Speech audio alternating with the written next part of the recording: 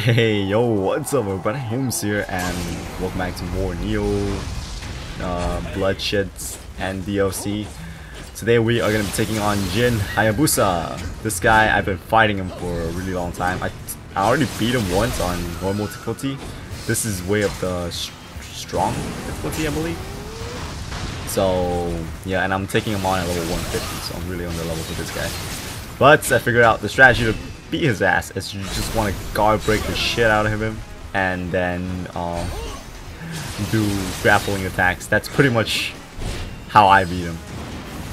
So you just try to keep his stamina low and pretty much you'll get him.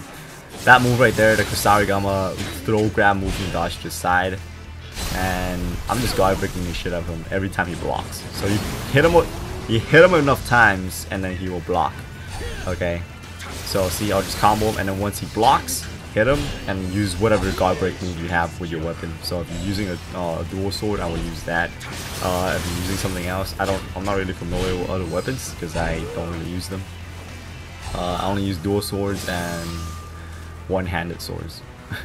the normal one-handed sword, not the not the big one. So yeah. Uh, but if you're using spear or whatever, and if you have a guard break move, just use that and pretty much all his attacks you can dodge to to the side, left, right, up to you guys. This fireball move right here, you can dodge to the side. Spinning attack, dodge to the side, get some damage in. Um, let's see, he has he has combos, but you can dodge to the side as well. Uh, fireball move again, dodge to the side. Kusarigama, he has this combo move right here. We can you can just keep circling around and or dodge backwards, up to you guys. Uh, let's see what else he's got. The stash move, you dodge to the side. Charge attack, dodge to the side. Uh, the charge attack actually has like short range, so you can you can actually dodge back backward as well. Let's see. You gotta break them. Critical. After you land your critical, back away because sometimes you'll recover with a Ninpo. There's that fireball thing. You cannot interrupt this, okay? So be careful. If you're near him, it will stun you. So be careful. Like Kusarigama throw, dodge to side.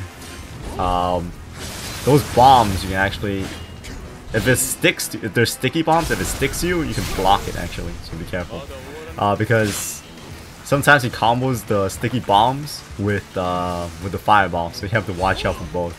You can't you can't block the sticky bomb. It's an explosion. If it sticks on you it'll blow up like uh, after a certain amount of time. But if you hold guard you could block it okay? So there's that but like I said, he combos it with his fireball sometimes, so you have to watch out for the fireball and the bomb. So yeah. Kusarigama throw. Shurikens, you can block it.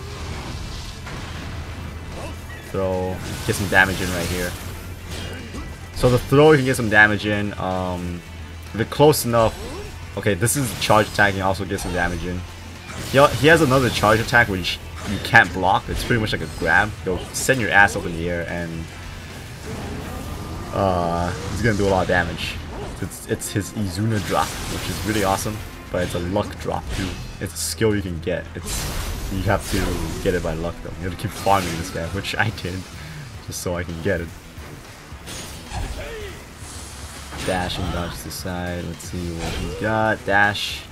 Try not to block the dash because if you have low stamina, it can guard break you. Okay, Ninpo. I'm just being really careful here because there's many times where I think I got him and then I try to go in for the kill because he's almost dead and then he wrecks me like one two hits. And I'm really under level for this fight here because I'm doing it on Way of the Strong and I'm only level 150. Yeah, see? so one of his heavy hits can just take me out. But yeah, hopefully this um, this video has been entertaining and helpful and enjoyable. Hopefully it helps you guys out because um, I see the trophy percent for beating this guy on way of the difficult uh, way of the strong or higher. It's it's still pretty low. Like I think it's still like within five percent right now. I don't know. This I recorded this video a while back, like two or three days after the DLC came out. But I just haven't gotten the chance to commentate it. But yeah, here you guys go. So hopefully you found this enjoyable. And yeah.